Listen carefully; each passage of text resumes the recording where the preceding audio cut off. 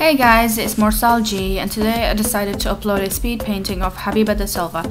So first, I decided to color her skin, her face, by mixing four different colors of acrylic paint, which was blue, yellow, red and white.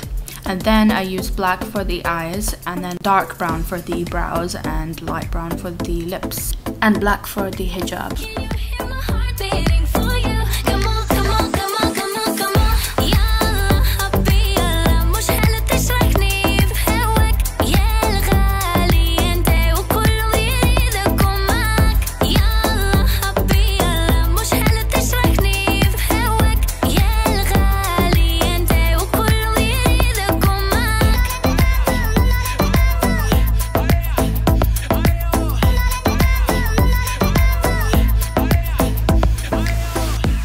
So I decided to create a double exposure look to Habiba by painting a cosmic galaxy background to her hijab using a sponge and four different colors pink, purple, light blue and dark blue and also bits of white and I really like the outcome at the end.